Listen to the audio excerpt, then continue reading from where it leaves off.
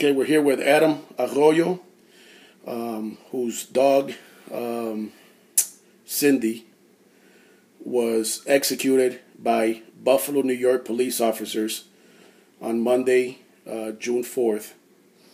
Um, can you tell us a little bit, Adam, um, again about what you found when you returned here to your apartment? Yeah, the first thing I when I walked up the stairs, I saw uh, my door was just completely destroyed. Um, uh, walked in the house, everything was tossed up. I mean, everything was everywhere. Dog food on the floor. I mean, food everywhere. Um, you know, all my important papers were all flipped up.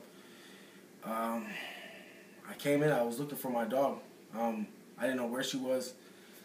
And then as soon as I came to where she always lays here, um, that's when I saw all the blood on the wall. I saw all the gunshots, um, and it was just it was a horrific, horrific thing. And uh, I just hope this never happens to anybody else. Can you describe? Uh, I know it's hard, but can you describe what you saw when you you know the first moment you saw Cindy? Yeah, I saw her uh, when she was at the animal shelter on 380 Oak Street. Um, I went over there to identify the body, and uh, man, she was just cold. Um, you know, they had her in the freezer, and it just all, I could do was cry. You know what I mean? Because that was my, like I said, you know, that's my baby. You know, that was my little girl. I mean, people who don't have a dog, they don't understand this. But that was that she was a part of me. I had her since she was a baby.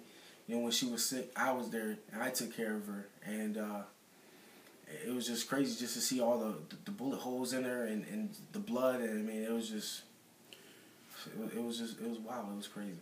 So Adam, they they removed her from here when they killed her. Yeah, um, when I got here, she wasn't even here. They took her straight to the animal shelter. I didn't even get to see her. Last time I saw her is when uh, I chained her up. I told her bye, baby. I always rub her face, and I say I always, you know, tell her I'll see you later, and uh, and I, I'll never get to see her again.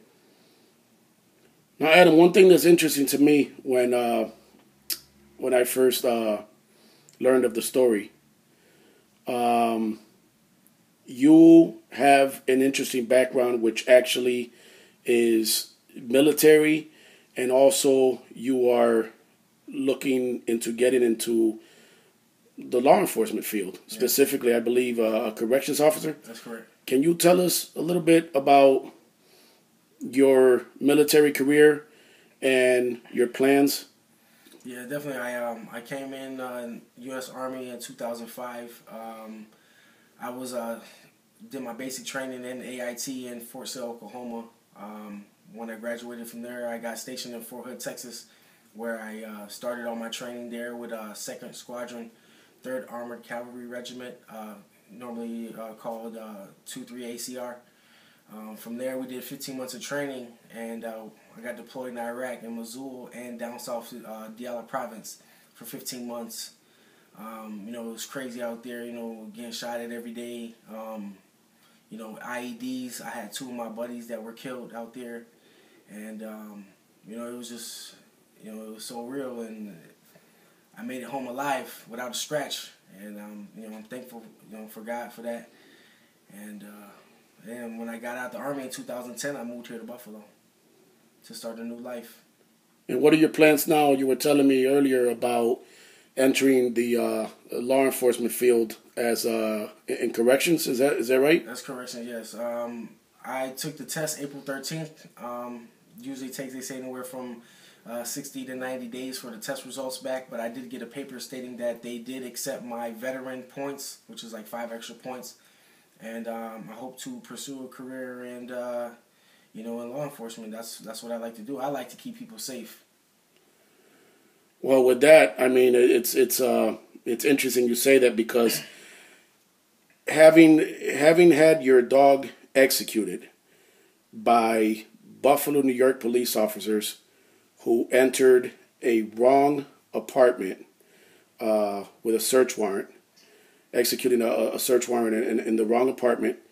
Um, how does it make you feel not only just as a citizen, um, you know, with, with police, it's our understanding that police are here to obviously uphold the law and serve and protect us. Mm-hmm. but even more so, someone who has the military background, who is looking to get into law enforcement.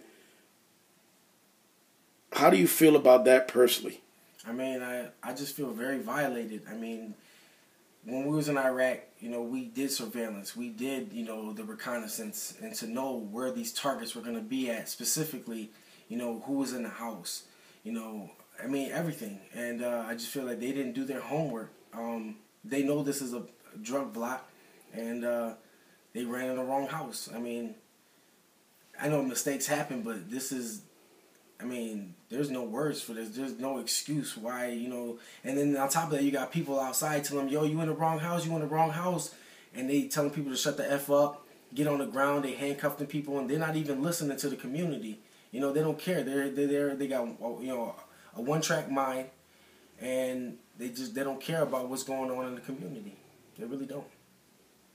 Have they, uh, has anyone, Adam, from the city of Buffalo, uh, Mayor Brown's office, uh, Buffalo, New York police, the commissioner, any officials whatsoever, any officials, have they apologized for this? No, they haven't. Um, I had two uh, Buffalo lieutenants that did come to my house um, just to set up a meeting so I can talk to them, um, which I definitely want a lawyer present um, before I do that, and I'm still in the process of searching for a lawyer. But no one has uh, apologized to me.